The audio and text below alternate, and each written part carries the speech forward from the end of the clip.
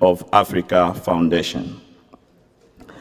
This session, a year after KK's passing on Thursday, June 17th, 2021, is the first in an annual event that we trust will contribute a lot to human relations. As said yesterday, we in the foundation will forever be thankful for the privilege to have been physically with KK during some parts of his life and work. KK was our mentor. We cherish the experiences and lessons with him.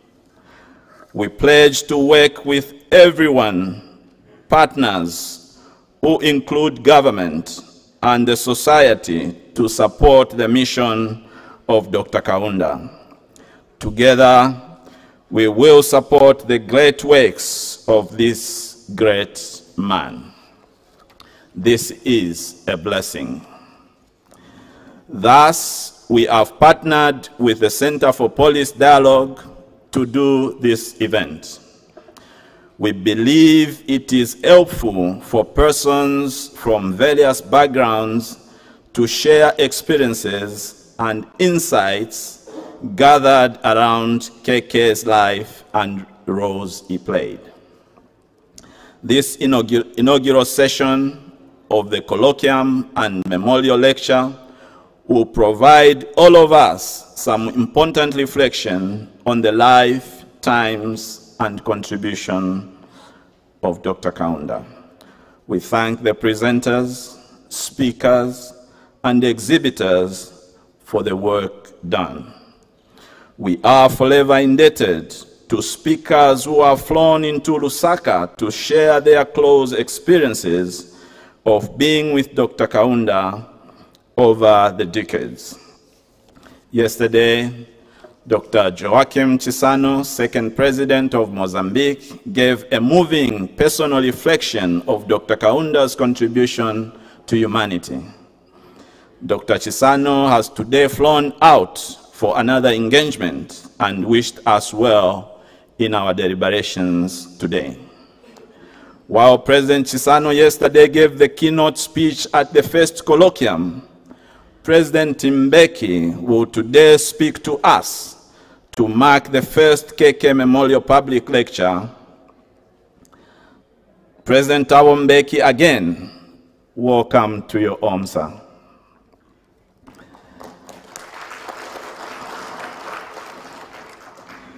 Yesterday, you attended the presentation of your brother, Dr. Chissano.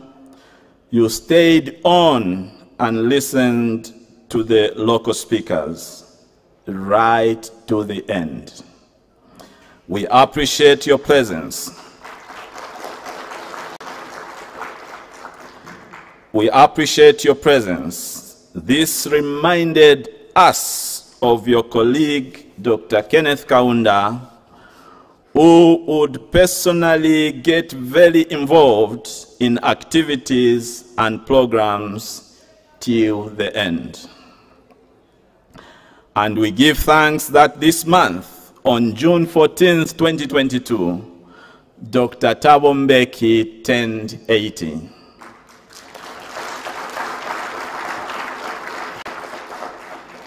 Belated happy birthday to you, sir. We give thanks for your contribution to the world. To all of us at this inaugural KK Memorial Public Lecture and the ones that will follow, there are lessons for everyone. No one following the proceedings at this event will leave without inspiration.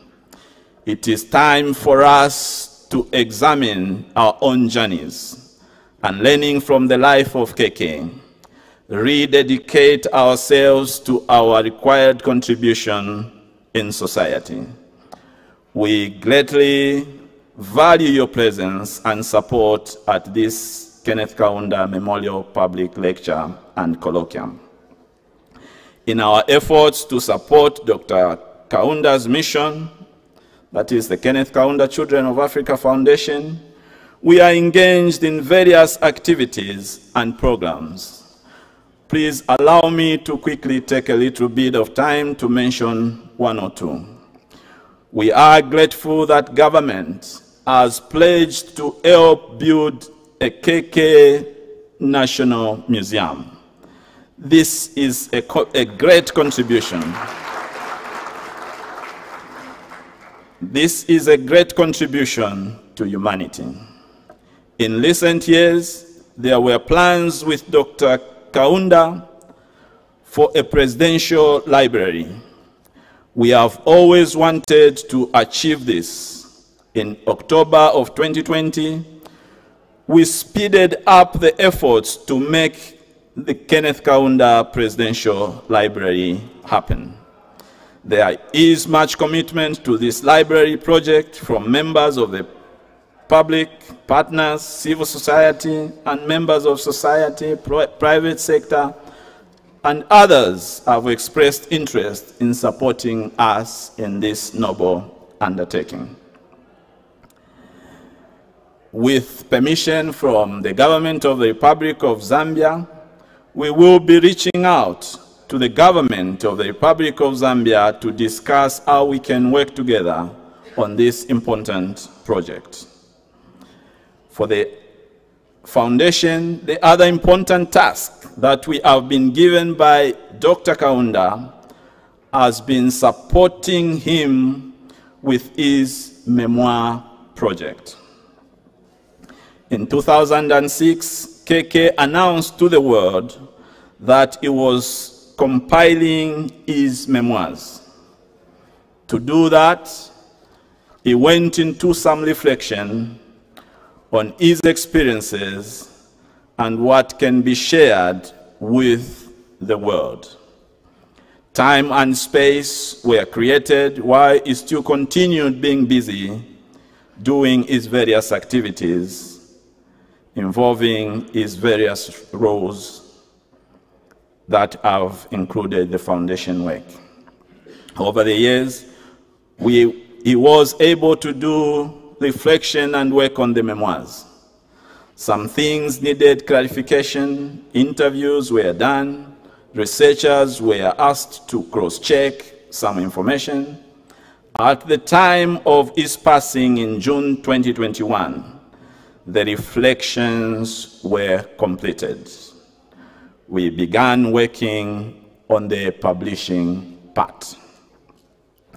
We will be consulting with the Kaunda family and other partners to ensure that the KK memoirs come out. Yes, the KK memoirs will be coming out in print with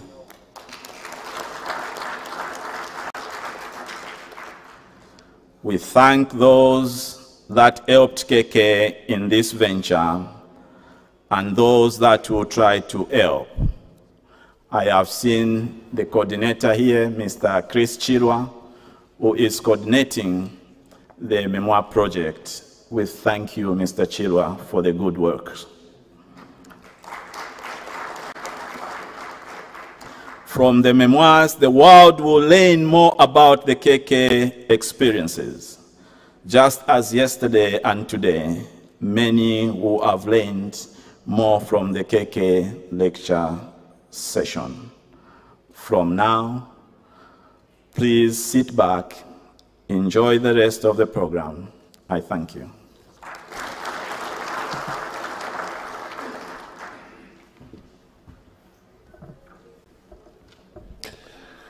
Thank you. Thank you very much, Mr. Sunday Musonda, for those remarks. And also thank you for, for your work with the foundation in keeping the legacy of our dear KK alive. And so he did mention that uh, His Excellency Dr. Thabo Mbeki celebrated his 80th birthday this month. We're still in June, aren't we? Yes, we are, 30th of June about two weeks ago. And uh, we all know that this was your home for, for quite a while. And so this is your family, sir. And as family does on occasions like this, we gather. Um, So you could say we're also gathering for your birthday as, a, as a sub. as a sub reason, it's also your birthday to celebrate your 80th birthday. And as family does on an occasion like this, I would like for us to do something together. now, Uncle Frank, Ambassador Frank Mutuvila, handed over to me a little earlier. Allow me now to also hand over to somebody who is uh, more qualified and more skilled than I am to lead in this very short exercise that I would like for all of us to join in as we indeed belatedly celebrate Dr. Thabo Mbeki's birthday. Hezron, let's give a big round of applause to Hezron Ngosa as he comes through now. So we can stand and just uh, celebrate. Happy birthday to you. Happy birthday to you. Happy birthday, happy birthday. Happy birthday to you. Well, thank you so very much. You may take a seat. Now, the reason I'm here, that was just a warm up. I wrote a song to celebrate Dr. Kaunda. I understand and appreciate that um, the time Dr. Kaunda was uh, president of Zambia, Nelson Mandela was incarcerated 27 years. And I think there were children like me who was on the mind of Dr. Uh, uh, Nelson Mandela's mind when he was incarcerated. And I, I, I felt the time we lost Nelson Mandela, I should write something. And it only happened when we lost Dr. Kaunda. I said, I'm going to do this. So when I heard about this event, I called my sister and I said, I should sing this song because Dr. Kaunda and Nelson Mandela had little me in their mind when they were incarcerated and when they led the country and the uh, liberation struggle. So please stay back. The lyrics will be there. Follow through my thoughts and let's enjoy together. Thank you.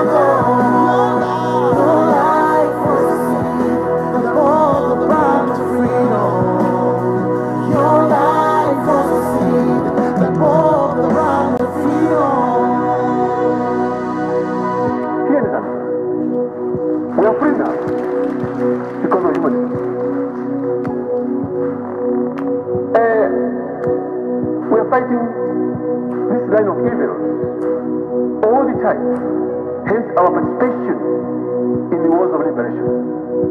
We are fighting to achieve humanism. We have succeeded in Angola, Mozambique, now Zimbabwe.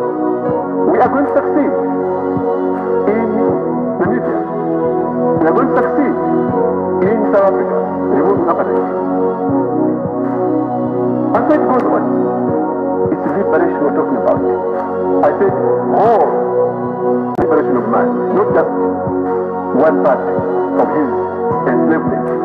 I'll come to that. You come to poverty and its options. We are fighting this all the time to achieve humanism. Now everybody clap your hands. Clap your hands for freedom. Ah.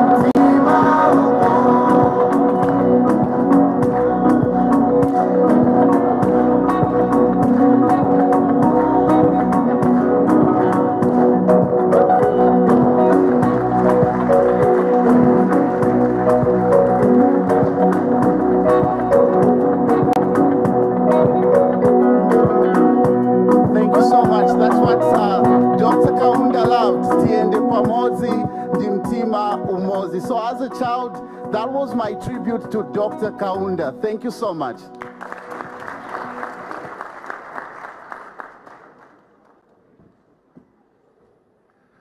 Nice one, Hezron. Thank you. Thank you so very much. Indeed, as Zambia, we had the national anthem, and then we had the Kaunda anthem. And I remember every time he was at a function and was invited to stand to speak, the moment he stood, everyone on cue just started the clap. And everyone knew what it meant. He knew what it meant. And as soon as he got to the microphone, he would wave his white hanky and break into Tiende pamozi ndimtima umo. Some of us didn't even know what that meant, but we knew it word for word and sang along. So thank you, Hezron, for bringing us those wonderful memories as well.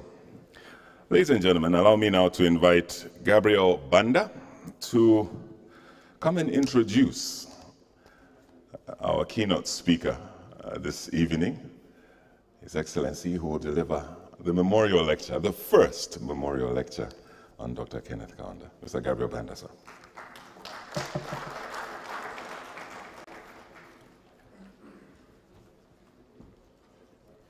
Uh, greetings. Good evening. It is uh, significant that uh, Dr. Thabo Mbeki is the one that was chosen to take over from Dr. Nelson Mandela, a legend of humanity, as South Africa's president. That shows the trust that people had in him, and they were sure that he would move in relay to the great light, the torch of this journey of humanity in creation. Today, we are honored, sir, that uh, President Mbeki is here with us to give the inaugural Kenneth Kaunda Memorial uh, Lecture. Actually, Dr. Thabo Mbeki is here in Lusaka, back at his home and base. It was from Zambia that the ANC of South Africa was headquartered and did much work in partnership with the world to fight for the removal of apartheid in South Africa. When Dr. Mbeki was here, he had much contact with President Kaunda.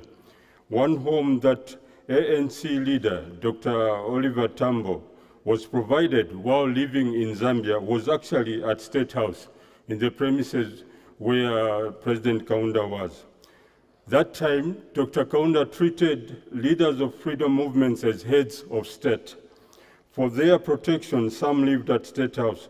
Oliver Tambo lived in a house within State House grounds, and so Dr. Thabo Mbeki many times came into contact with KK uh, when Dr. Tambo was uh, working, uh, doing some work with Tata Oliver Tambo. So Dr. Thabo Mbeki at one time lived near, near here in Kabulonga. So he knows where Libala is. He knows Kanyama, Kaunda Square, Roma, Soweto compound. He knows where they are. Even after the ANC went to South Africa in around 1990, their members still had attachment to Zambia and uh, KK. And uh, uh, the people of Zambia had been greatly supportive of the struggle in Southern Africa. And as the song was done by Hezron and uh, uh, Tata Mbeki, it was Otiende Pamozi. And we also had the common anthem, Nkosi Sikeleli Africa. Uh, Stand and Sing of Zambia is linked with Nkosi Sikeleli Africa. So like many from the region, President Mbeki seems to have a sense of a womb, a womb about Lusaka and Zambia, like a place where the umbilical cord was, was settled. A place that inspires, a place and a society to return to for inspiration and restoration, to refresh, for a retreat, for strength, rejuvenation, to pursue one's calling. This is the place where KK was. When they hear about Lusaka, they say, ah, there is my home. When they hear about KK, they say, ah, there is my team. So many persons in South Africa and the region and Africa and the world love KK. And in fact, at the first AU summit in Durban, which President Thabo Mbeki uh, chaired in 2002, they made sure they invited KK to be present at uh, that summit because of the respect and love that they have for them.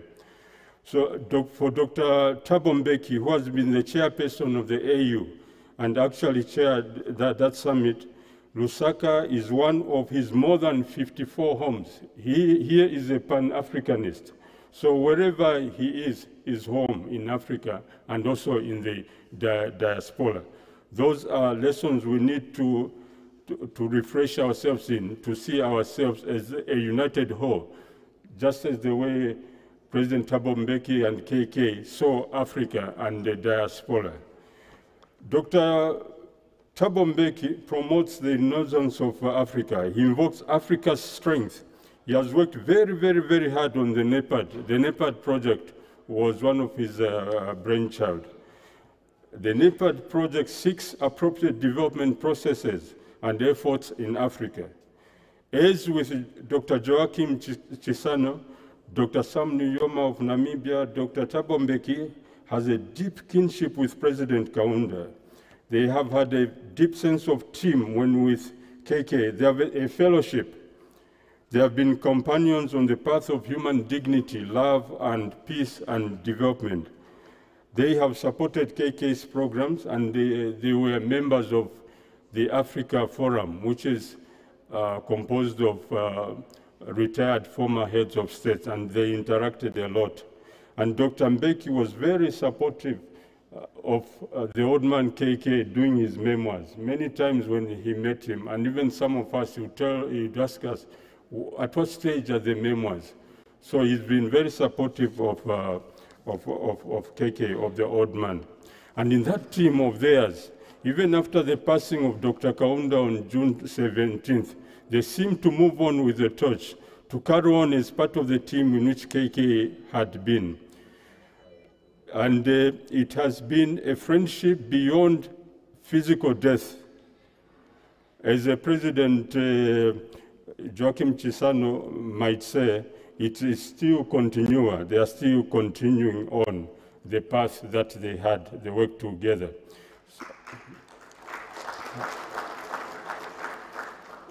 So I, I'm also a witness to how President Mbeki approaches uh, things, approaches his work. It's very, very uh, analytical, very, very interactive. It's very thoughtful and analytical, while at the same time uh, being humble and approachable. Very, very gifted, but not pompous. So, so he, he will listen to what you say. When you're speaking, you are, he's listening. Then he- at the same time, he definitely expresses his opinion about things around him. He always say what his opinion uh, is about uh, something. And he's very, very thorough and works towards practical outcomes. Like KK, he dedicates himself to whatever he is doing. That's why KK used to talk about uh, doing something with all your strength. So when he's seated, even yesterday, President Thabo Mbeki was here throughout, and people were observing. Oh, he's even taking notes. He was even saying, "Oh, this time this has ended here, here. The person who spoke was, or this and this person." So he's always been like that. He's using those abilities and experiences as a gift to help uh, to help uh, society. And I'm saying he's very thorough because in 20. 16 hours in uh, the Equatorial Guinea with Dr. Kaunda as a special assistant to KK.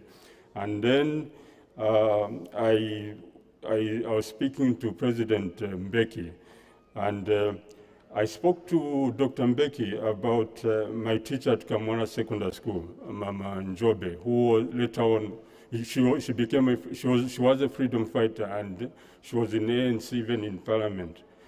And uh, so Dr. Mbeki knew the details about uh, Mama Njobe. So, oh, at this point, she's, she's, this, she's at this stage, this stage, at this point, she's uh, unwell. And then we also talked about his home in, uh, in Zambia. And one of the homes he had, he lived at when Mama Zanele uh, Mbeki was with uh, UNCR, was in Kabulonga. Then he, he took out a book. He said, oh, uh, no, he, he asked me for some paper. I gave him my book. Then he drew a map showing where he had lived in Kabulonga at one time, Martin Luther King Road. Then he, he had the details. Oh, this is Kabulonga supermarket, Kabulonga roundabout. Then you move like this, like this. But that's what he brings to many things that he does details, and then to see how things relate to each other, how factors relate to each other, and also the links of things from, from the past to the present and to the future. So he is a gift to Africa and, and, and, and the world. And those skills are what we, uh, those skills and experiences we can uh, learn, learn from. So here back to Lusaka, please, sir, this is uh, again part of your team, KK's team. And please, my colleagues, please let us uh, welcome and applaud President Thabo Mbeki.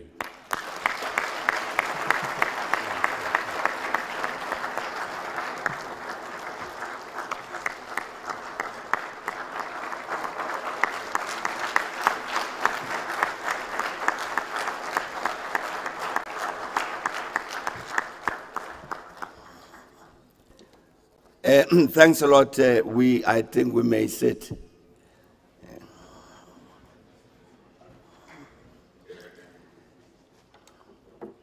Uh, thank you very much, uh, Dr. Banda, for those uh, very kind words.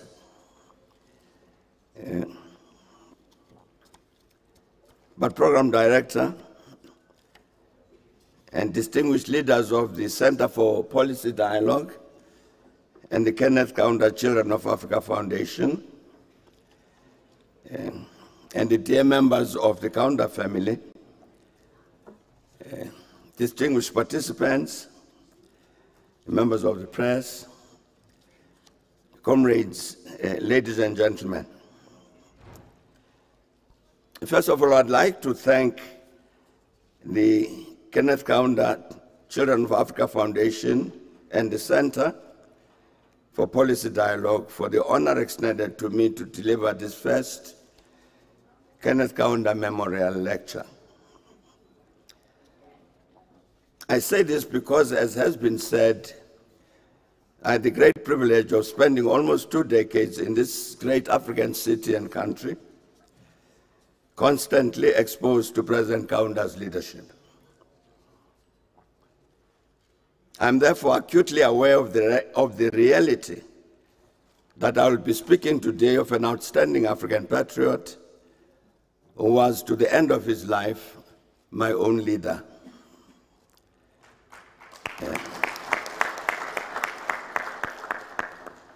A few days after President Kaunda passed away, uh, Juan Emmanuel Mensah Abludo on the 26th of June last year caused the publication in a Nigerian newspaper, the Premium Times, of an obituary entitled Kenneth Kaunda, the last African liberation giant, goes home. And the obituary said, barely a week ago, the last of the giants of the African liberation struggle in the past century, Kenneth David Kaunda, Zambian president, finished his earthly journey. He joined the ancestors at an advanced age of 97 at a military hospital in the Zambian capital, Lusaka. Mr. Kaunda was admitted on Monday, June 14, 2021, suffering from pneumonia, and he passed on on the 17th of June.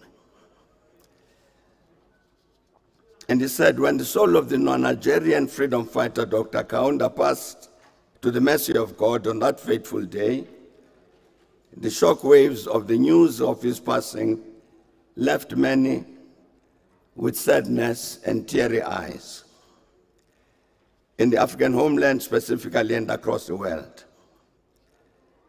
And from north to south and from east to west, tributes poured in for the statesman described as the last giant of 20, 20th century African nationalism. As citizen of the world, as citizens of the world, we have to emulate uh, Kaunda's sacrifice, his courage, his candor, his supportive attitude, his perseverance, his nationalistic fervor, and above all, the pursuit of truth on all fronts, while vigorously fighting misinformation and disinformation at every, at every level. And we pray that the soul of the late, late Kenneth Kaunda continue to have a peaceful repose in the Lord till we meet again in company of Kwame Nkrumah, Abubakar Tafawa Balewa, Nnamdi Azikiwe, Julius Nyerere, Ahmed Sekou Toure, and others. Adieu. That's the end of that obituary. And thus does this moving obituary to our beloved leader KK refer to some other African patriots who were his peers. And this brings to mind an historic process of which all of these leaders were the product. And I refer here to the series of Pan African Congresses, which started in 1900 bringing together Africans on the continent and the African diaspora. And in this regard, we must recall the famous words which came from that 1900 First Pan African Congress held in London, England. And in a message entitled To the Nations of the World, that conference said,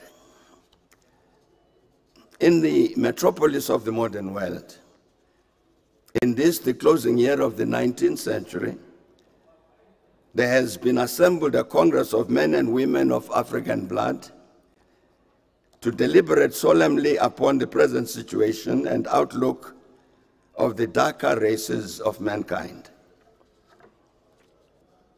And it said the problem of the 20th century.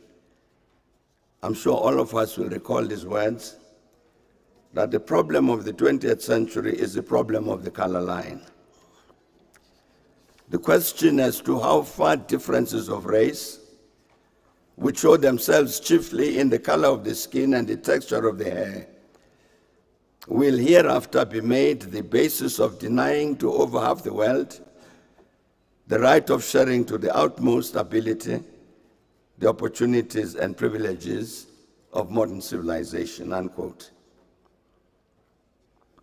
This was the message of men and women of African blood to the nations of the world as the 20th century into which KK was born began. That the problem of the century was the problem of the color line. And that same, same message also said, among other things, let not the natives of Africa be sacrificed to the greed of gold, their liberties taken away, their family life debauched, their just aspirations repressed, and avenues of advancement and culture taken from them.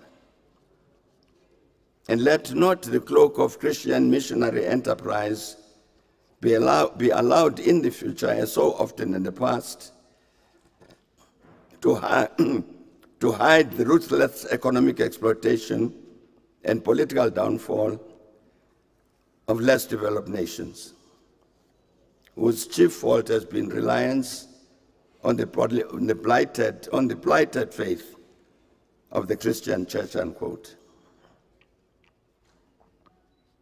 And in its message, that message, the 1900 Pan Africanist Congress of men and women of African blood held out this hope for the future.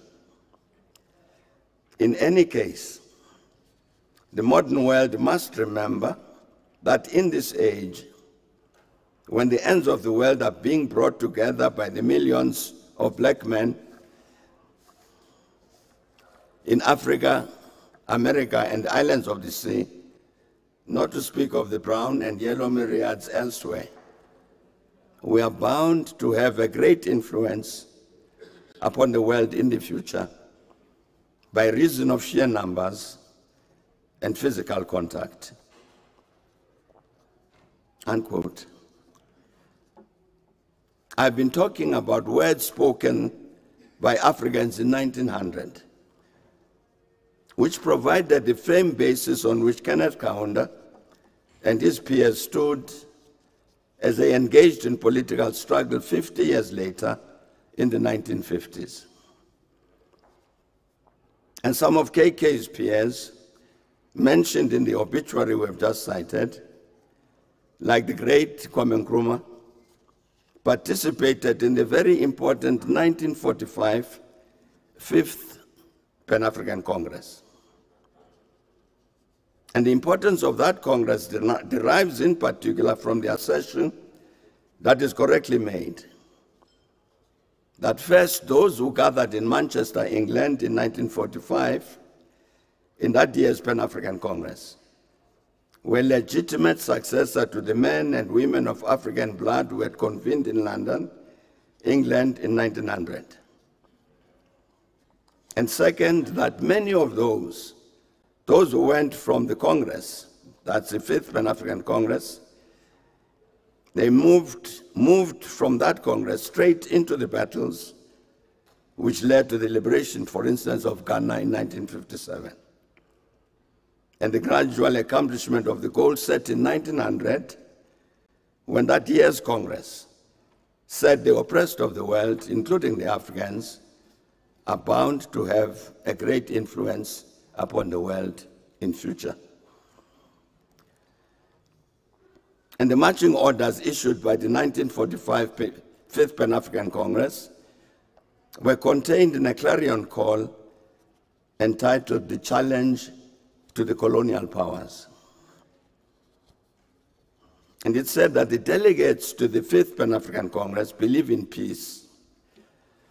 How could it be otherwise when for centuries the African peoples have been victims of violence and slavery?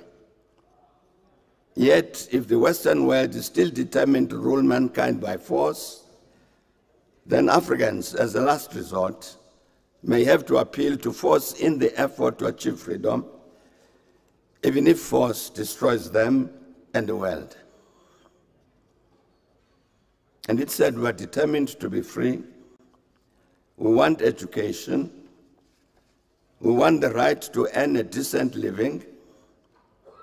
the right to express our thoughts and emotions, to adopt and create forms of beauty.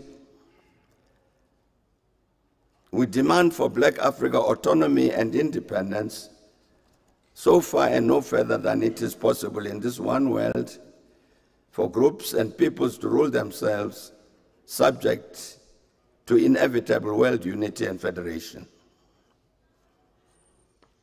And it said, We're not ashamed to have been an age long patient people. We continue willingly to sacrifice and strive, but we are unwilling to starve any longer while doing the world's drudgery in order to support, by our poverty and ignorance, a false aristocracy and a discredited imperialism. And it said we condemn, condemn the monopoly of capital and the rule of private wealth and industry for private profit alone. We welcome economic democracy as the only real democracy, and therefore we shall complain, appeal, and arraign. We'll make the world listen to the facts of our condition. We'll fight in every way we can for freedom, for democracy, and social betterment. I'd like to believe that all of us will have heard the voice of the young Kenneth David Kaunda as we listen to what the Fifth Pan African Congress said in 1945 in its challenge to the colonial powers. I'm talking here about Kenneth Kaunda as he played a leading role in the historic organizations of the Zambian struggle for liberation from colonial rule, the Northern Rhodesia African National Congress, the Zambian African National Congress, and the United National Independence Party, UNIP, and led the Cha Cha Cha Civil Disobedience Campaign. It is an established fact, historical fact, that the struggle for the total liberation of Africa from colonialism and apartheid was hardest in our region of Southern Africa, and of course in Algeria and Kenya as well. The reason for this is easy to identify. It is simply settler colonialism. As all of us know, there was a large settler French settler population in, in Algeria, which then left Algeria as the French government conceded to the demand of the Algerian people, led by the FLN, for independence. And though it was not expelled by liberated Algeria, the French settler population fled back to France because it feared the wrath of the Algerian people, having waged a brutal war against them to perpetuate colonial domination.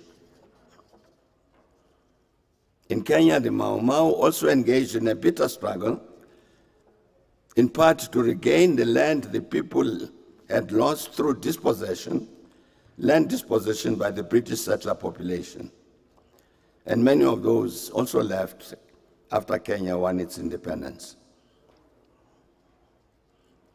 But as we all know, in Southern Africa, settler colonialism was most manifest and had the greatest impact in South Africa, in Zimbabwe, in Namibia, in Angola, and Mozambique. And so let me speak briefly about South Africa in this regard.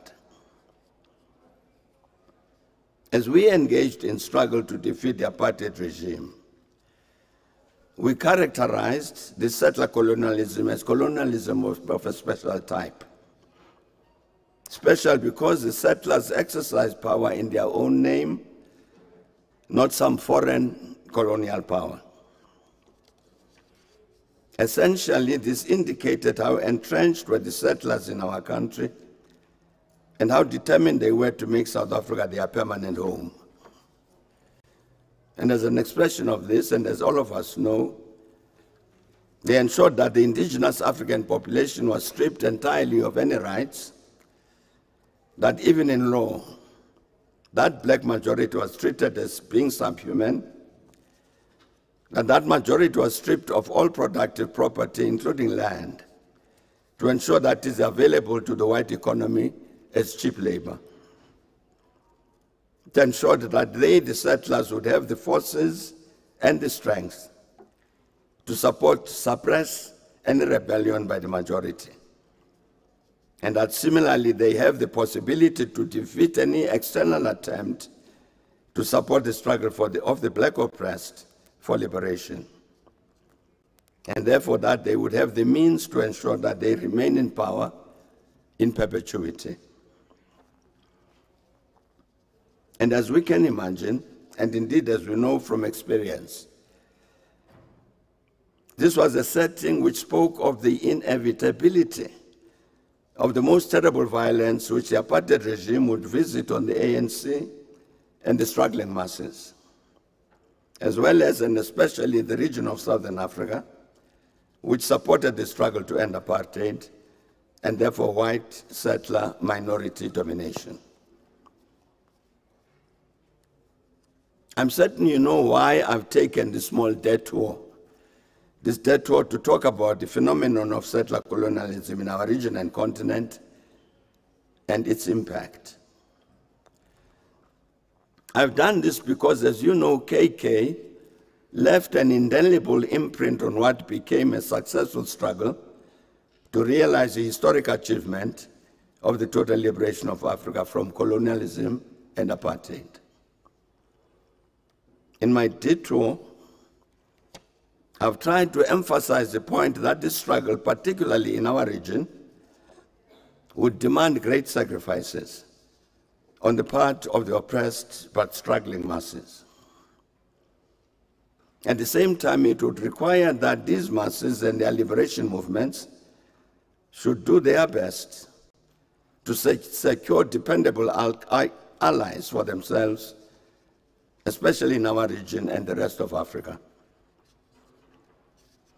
And let me mention some relevant dates uh, in this regard. The ANC in South Africa and the MPLA in Angola started engaging in armed struggle in 1961. ZAPU in Zimbabwe and Frelimo in Mozambique followed in 1962. ZANU of Zimbabwe was next in 1965, followed by SWAPO of Namibia in 1966. It was into these circumstances that independent Zambia was born in October 1964, and in which it spent in what could be called its, its formative first two years, circumstances of a region in which the liberation movements had launched the strategic offensive, finally to defeat and remove the colonial apartheid regimes.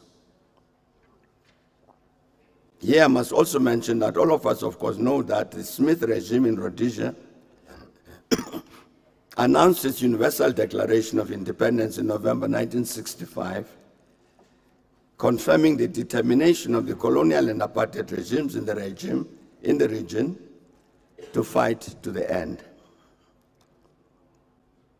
And as we all know, independent Zambia, despite all of that, despite being surrounded by these armed conflicts, independent Zambia, led by President Kenneth Kaunda, opened its doors to all the liberation movements.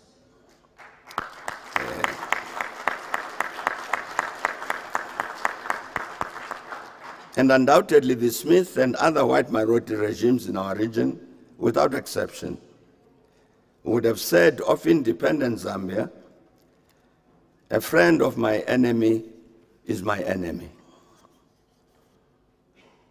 In this connection, I would like to jump some years and quote some important words uttered by President Kaunda in an interview in 2008. And I should say, dear friends, that this, I thought these words were very important. I thought, therefore, I should allow President Kaunda to speak in his own words.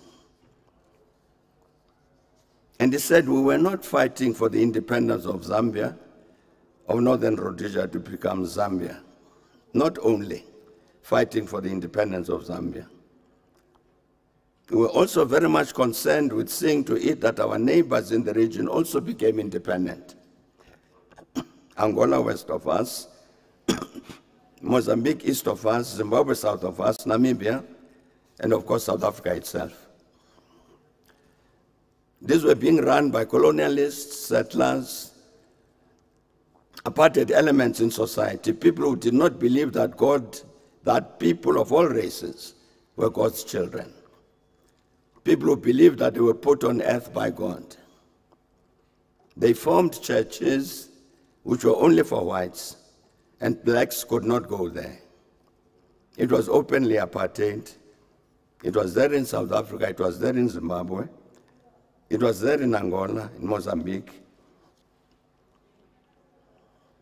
We decided that we had no right to say that Zambia is independent. We had to do what that great son of Africa, Julius Nyerere in Tanganyika, was doing. Julius Nyerere brought in all liberation movements from these countries and gave them liberation centers in Dar es Salaam, the capital of Tanzania. We ourselves were there. The Zambians were there. We had our offices there. As soon as we became independent, it was our duty now to do what Julius Nyerere had been doing. We opened our doors, and all liberation movements moved from Tanzania to Zambia. And that meant we were bombed from time to time by South African warplanes, Rhodesia, the Portuguese in Angola, the Portuguese in Mozambique, the settlers in Namibia. All these were now attacking Zambia because they wanted us to fear, to fear that accommodating liberation movements meant being bombed, bridges being destroyed. You build, they bomb. They bomb them again and again and so on. The place where you hide your oil, they come to bomb and destroy those. This is what life for us was. But it was something we had to do. When God says, Love thy neighbor as thyself, do unto others as you want them to do to you, there is no choice there. We understood that and we accepted it. We went together, and I remember one good missionary who wrote a book about my humble self, and he asked President Nyerere to put in an introduction.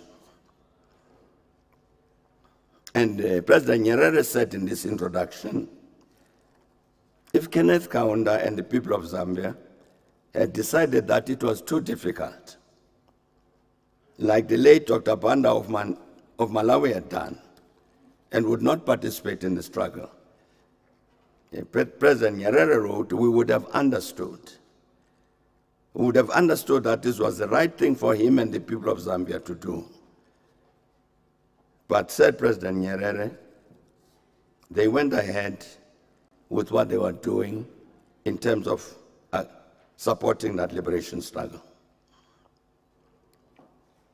So President Kaunda said, so you can see that all around, people understood the situation and were realistic enough to make the point that it was a very difficult situation.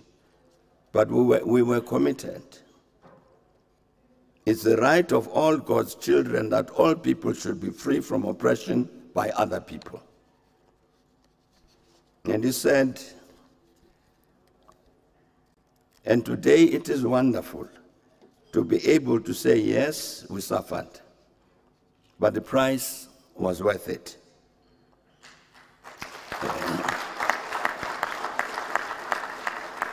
Everybody now is free. Yes, people are making mistakes, but they are our mistakes by these governments, not mistakes made by foreign governments for us. We are happy with what we did. I'm indeed very, very glad that I've had this opportunity to let KK speak for himself, for himself as well as the government and people of Zambia, with regard to their role and place in the historic struggle for the final and decisive push to end colonial and apartheid domination on our continent. And for those of us who know firsthand what President Kaunda and all Zambia did to help us achieve our freedom, it was indeed very moving to hear KK's own words. And today it's wonderful to be able to say, yes, we suffered, but the price was worth it. So we're happy with what we did.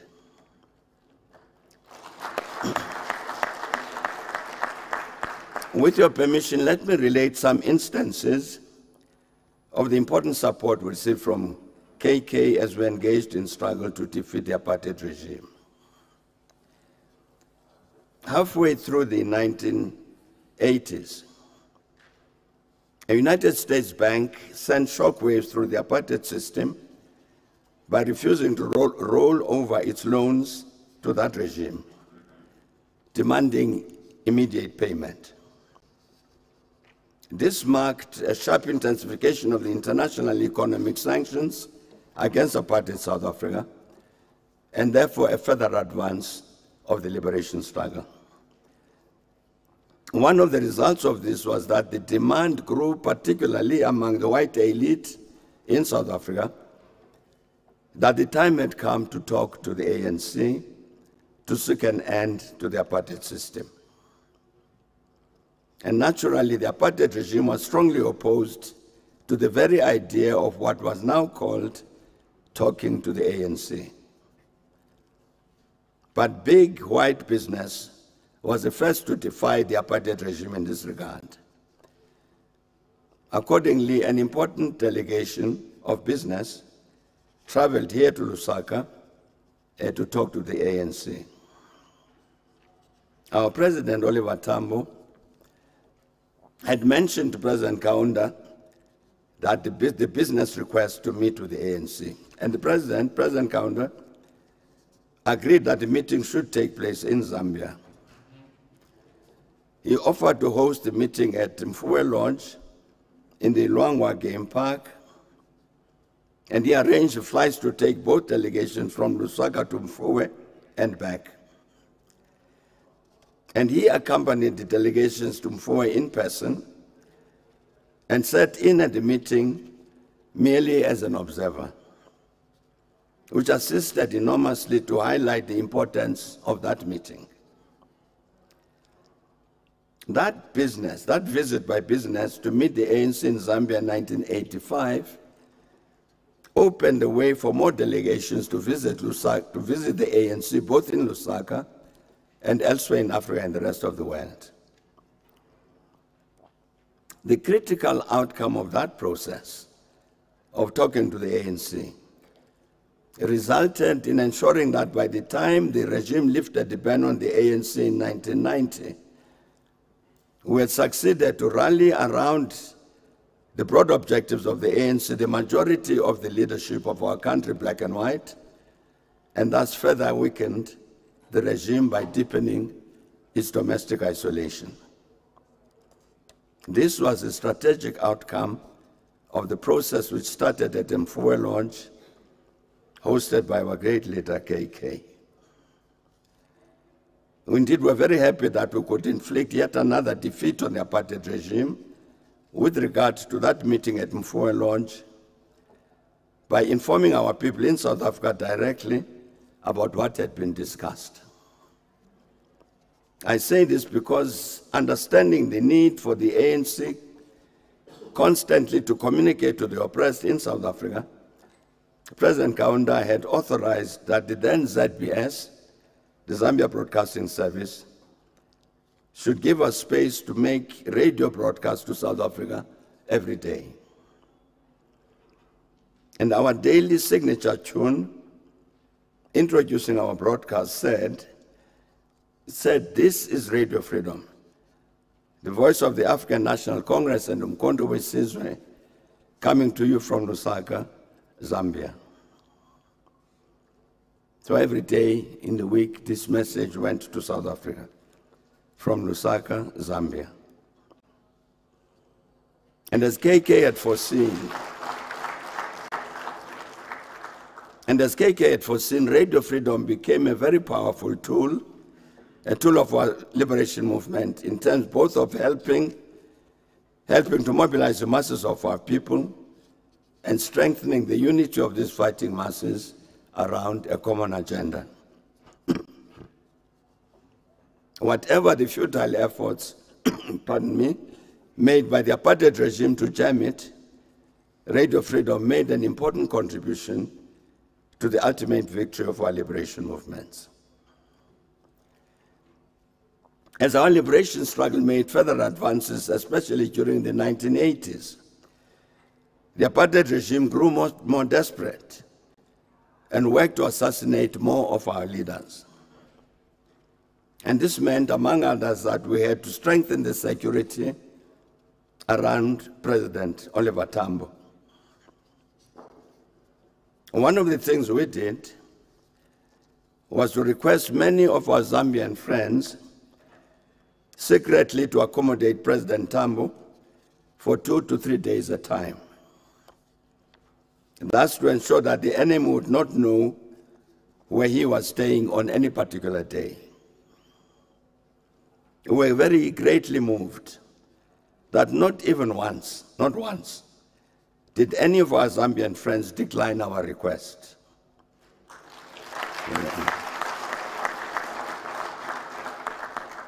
They all agreed and hosted Oliver Tambo, knowing very well that they might become victims of apartheid terrorism if the apartheid killers found out where their enemy, Oliver Tambo, was staying. In time, President Kaunda heard about this, about what his fellow Zambians were doing to help us, the ANC, to protect Oliver Tambo. He intervened, as Gabriel Banda has just said, and allocated a house and home to Oliver Tambo, located within the grounds of State House.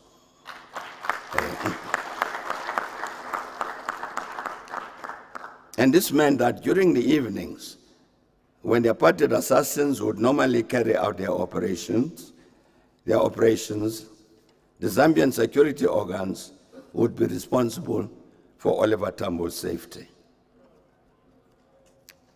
Very regrettably,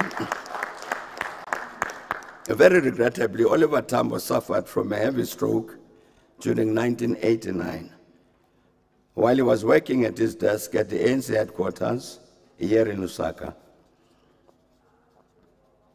The ANC immediately moved him to Lusaka Teaching Hospital and informed President Kaunda.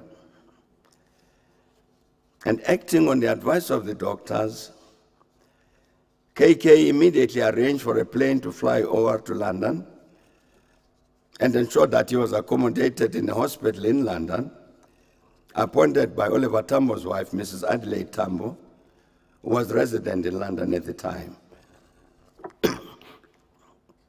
and that speedy intervention by President Kaunda created the possibility for OR Oliver Tambo to receive the appropriate medical attention in the UK and Sweden, such that though afflicted by a partial disability, he was able to return to South Africa after the ban- unbanning of the ANC. And happily, he was able, Oliver Tambo, to deliver the opening presidential address at the very first African National Congress conference after its un- in in unbanning, that was in 1991. And that conference, that conference elected him as the national chairperson of the ANC, a post he held until he passed away in 1993. In the revolutionary mem- memory, it is not possible to separate these two African giants, KK and OR, recalling that they were to each other more than mere comrades in arms. But during the same year that he suffered a stroke in 1989, President Tambo informed KK that such was the impact of the multifaceted offensive against the apartheid regime that sooner rather than later, the regime would seek to engage the ANC in negotiations.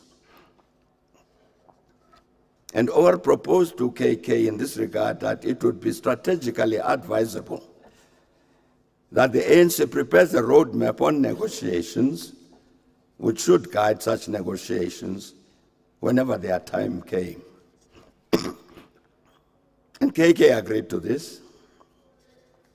And together they agreed that such a document should be discussed and agreed with the frontline states and then put to the African Union for its endorsement. And after that effort, would, after that, efforts would be made to get it approved by United Nations General Assembly. Thus would it carry the required weight to provide the framework for the negotiations. And practically, this is what happened. We prepared the first draft of the negotiations document and discussed it with President Kaunda. He then gave President Tambo a business jet to enable him to fly with a small delegation to consult the other heads of state, the heads of the other frontline states.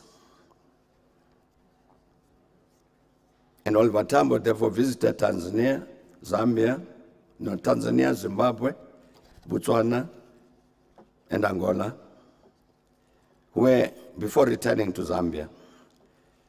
This took about a week, thanks to the plane kindly provided by President Kaunda. That delegation led by Oliver Tambo amended the negotiations document to accommodate proposals made by the different heads of state as a delegation visited the various capitals. The delegation then met President Kaunda and briefed him on the amended document. And after studying the document and discussing with Oliver Tambo, he made his own observations, which were then incorporated in the document. Of course, the ANC forwarded the document to Mozambique and requested the comments of President uh, Chissano, which he sent. The ANC presented the finalized document to the fully mandated OAU ad hoc committee on affairs of state on Southern Africa, which met in Harare in 1989. The committee adopted the document on behalf of the OAU and entitled it the Harare Declaration, Declaration of the OAU Ad hoc Committee on Southern Africa on the question of South Africa. And later, the declaration was adopted by the United Nations General Assembly with a few slight amendments. And indeed, it then played an important role in framing the negotiations, which officially began in South Africa with the Convention for a Democratic South Africa in December 1991. And thus, yet again, we warmly associate this historic new beginning with our dear leader, President Kenneth Kaunda. It marked yet, an, yet another defeat of the negative forces in our region, which had defined Zambia as their enemy. And in this regard, I must mention a meeting of the frontline states on the Nkomati Accord, which the government of Mozambique and the apartheid regime signed on the 16th, 16th of March 1984. That frontline states meeting was held in Arusha in Tanzania on the 29th of April 1984. I'm certain that many of us here will recall that one of the major elements of the Nkomati Accord was that the government of Mozambique would not allow the ANC to operate from that country.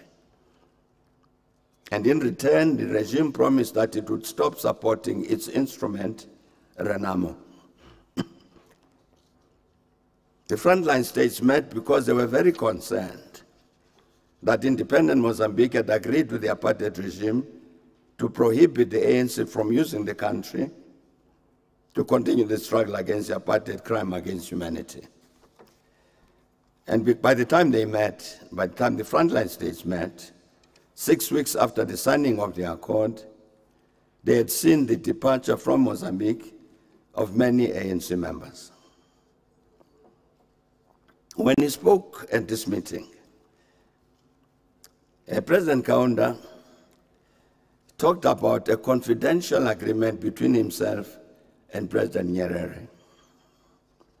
He reported that he and Mwalimu had an agreement that, would never, that they would never allow the situation to arise where their two countries would have to appeal to the IMF and the World Bank for help. He said that nevertheless, the reality was that, in his words, quote, I have betrayed Mwalimu, unquote. He said that even as he was speaking, there was an IMF representative at the Ministry of Finance in Lusaka. Now the government could not take any important decision on the economy without consulting the IMF representative to seek his agreement. President Kaunda described this as a defeat for Zambia and for himself and said they had to act to reverse it. President Kaunda used this story to argue that the frontline states and the liberation movements must accept that during the continuing struggle they would suffer temporary defeats. But what was important was that they must assume collective ownership of these defeats and take collective action to reverse them. And together they must declare that victory is certain. And indeed, indeed, thanks to all of those words, contrary to the expectations of the Pretoria regime, when it co coerced Mozambique to sign the Nkomati Accord, Mozambique played a sustained and critical role in the struggle for the liberation of South Africa, fully supporting the ANC.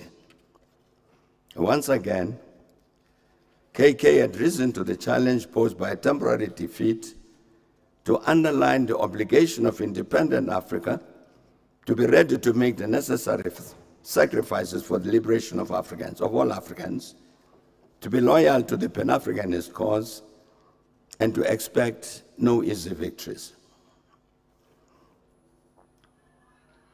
Program director, because of what President Kaunda meant, not only to the ANC, but also the masses of our people, we were very sad when we received unhappy pieces of news about him some years later after UNIP lost the 1991 elections. Unable to stand by as we heard this news, at some point we requested the late President Frederick Chiluba to receive an ANC delegation here in Lusaka, and fortunately he agreed. We sent a delegation here made up of the late Joe Modise, head of our army, our People's Army, and James Motlatsi, at the time president of the South African National Union of Mine Workers, who knew President uh, Chiluba as a former fellow trade unionist.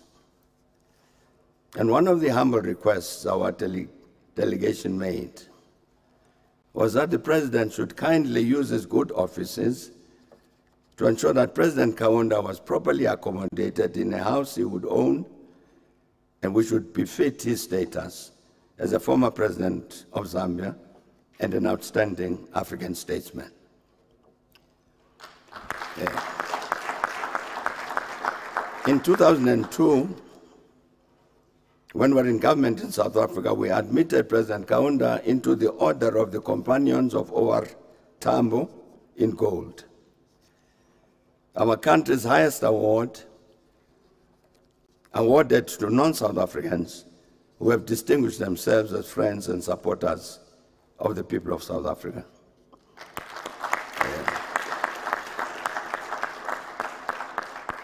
And further, very concerned that KK should have the possibility to write what would be very important memoirs, we set aside one of the houses in Pretoria owned by the government for him to utilize.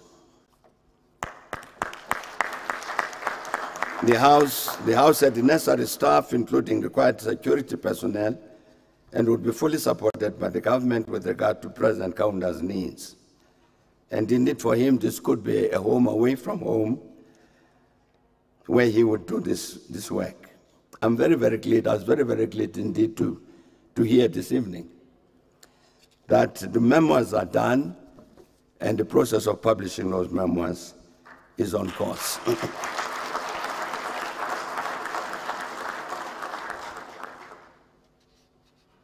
As I began this lecture, I cited an obituary published in a Nigerian newspaper, which, among others, described President Kaunda as the last African liberation giant. And we fully agree with this assessment. KK was a giant in many ways. He was one of the giants in the struggle for the liberation of Africa. He was a giant as a man of principle, of high values of integrity and integrity. He was a giant in his respect for the truth. He was a giant also in his love for the people and his commitment to serve their interests. Inspired both by Christian teachings and his devotion to Zambian humanism. The book, A Humanist in Africa, by Kenneth Kaunda, Kenneth. D. Kaunda, was published by Longmans Green, a publisher in London, in 1966.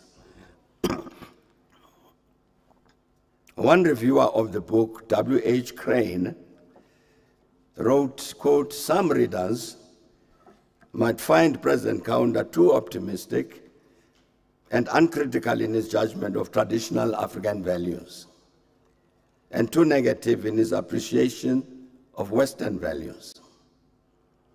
But after the years in which traditional African values have been violated by the colonialists, it is time for the balance to be redressed. And he said the Africans and African society could have no more worthy champion than the president of Zambia.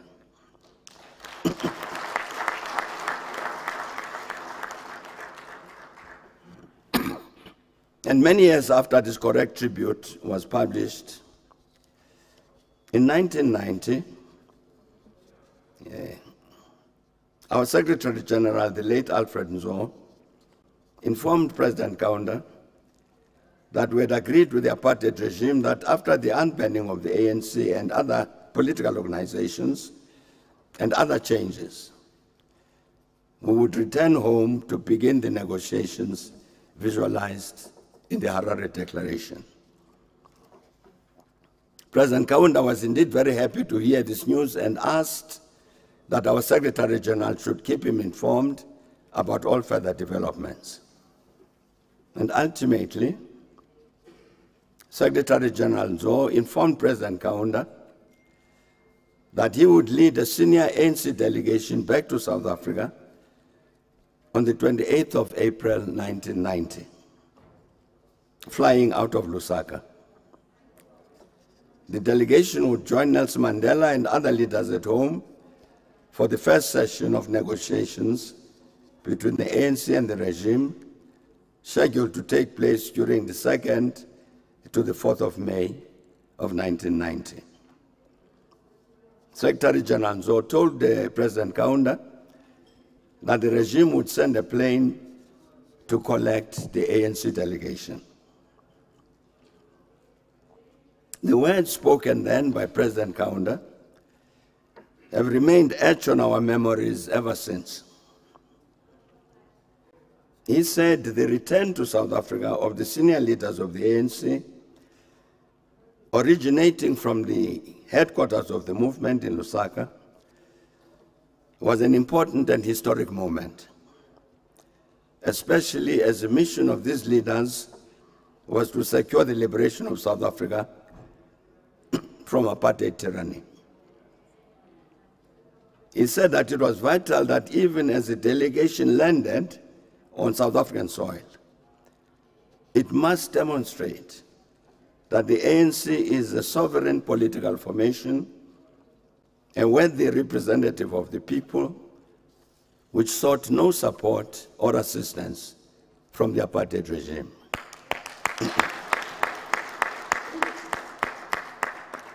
He said it would therefore be strategically wrong for the ANC headquarters delegation to, to arrive in, in South Africa transported by a plane supplied by the apartheid regime and insisted that the ANC delegation had to arrive in South Africa flying on its own wings. It was a Zambia Airways plane. It was a Zambia Airways plane which carried us out of the then Lusaka International Airport, now the Kenneth Kaunda International Airport, and brought us safely to what was called the DF Malan Airport in Cape Town, and now the Cape Town International Airport.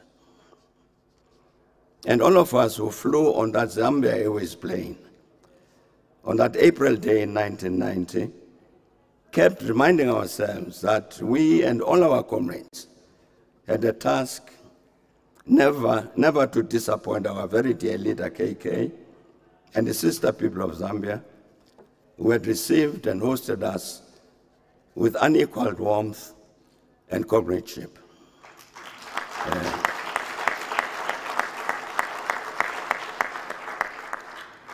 a decade before this,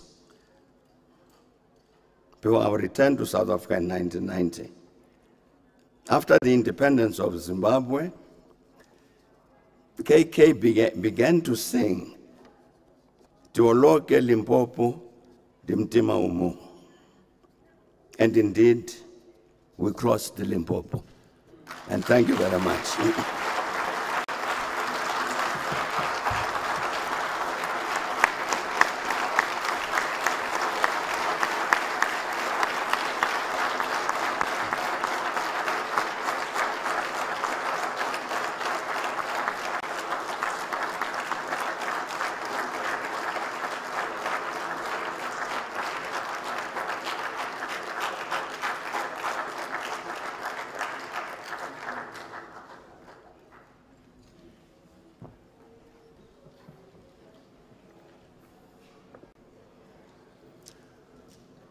Wow.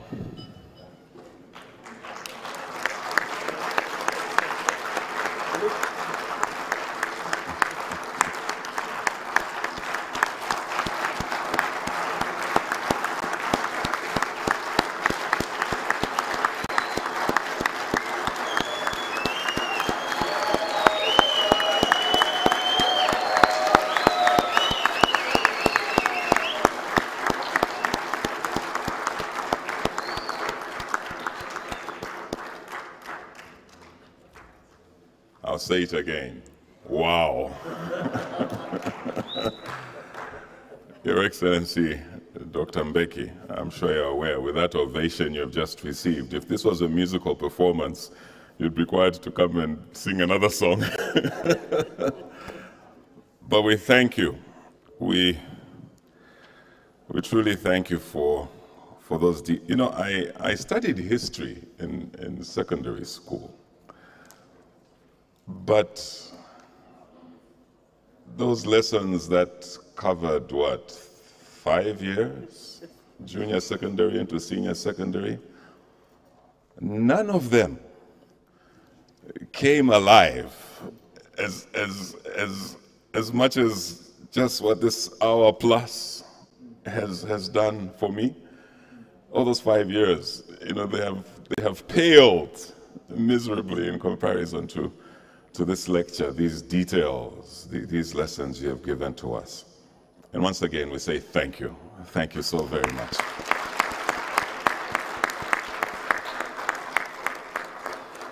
I can only pray that all the details you have shared will, will be put to paper so that you know generations that come after us will be able to to benefit, to, to, to, to appreciate, you know, what, what went on in the history of our country, of the region, of our neighbors, and our fathers. So Uh, allow me to say it one more time. Thank you. Thank you very much, Your Excellency.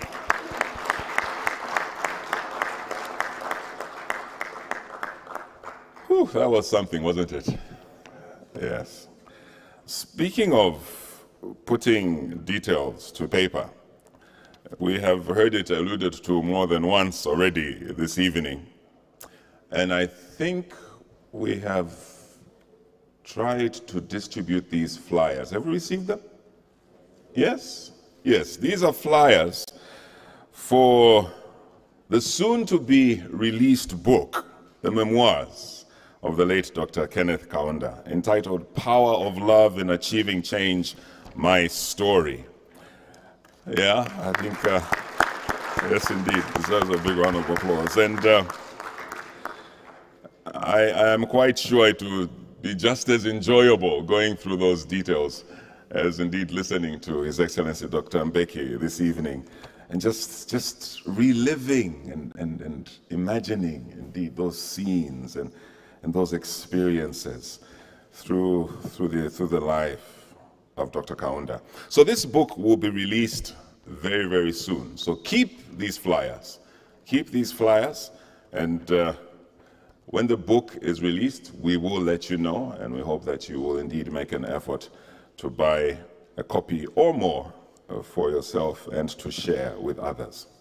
Ladies and gentlemen, allow me now to invite Dr. Neo Simutanyi to come and move a vote of thanks on this occasion. Let's give Dr. Simutanyi a big round of applause as he comes.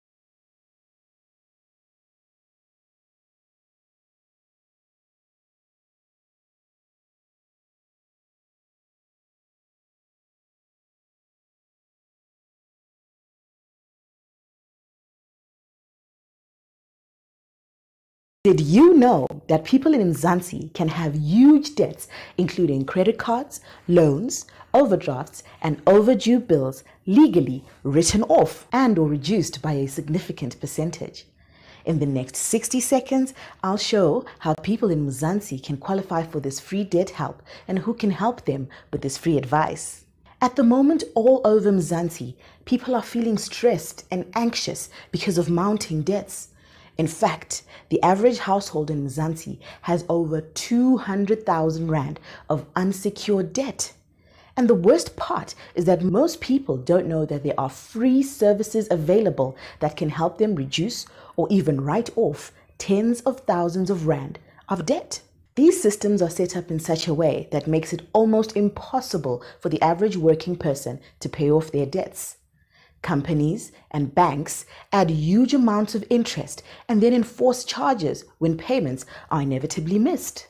What most people start doing is making minimum payments just to get them by. But did you know that the average credit card can take over 26 years to pay off when making only minimum payments? These are the reasons why most of us need help from experts who know the different solutions available that make repaying debts faster and a lot cheaper, and in some cases, even writing them off completely. In South Africa today, there are several different solutions available for helping people. So, depending on their circumstance, such as debt level, the number of people or companies they owe money to, a solution can be created for their situation that will make their lives easier. A short phone conversation with a friendly, non judgmental advisor where they will create a tailored solution that will wipe out a huge amount of money that is currently owed and paid out each month. So, if you're watching this video thinking, Aish, I could really use some help, then I highly recommend speaking with one of our specialist debt experts today. Writing off a huge amount of debt not only means that one is paying far less in the long run, but it also means that one's current monthly payment is significantly reduced. So, tap the button below this video to fill out a short 30 second questionnaire to see if you qualify. And if so, then within the next couple of weeks, thousands of rand of debt could be written off and current monthly payments reduced significantly to an amount that can comfortably be afforded. You are well on your way to becoming debt free. Tap the button now and get started.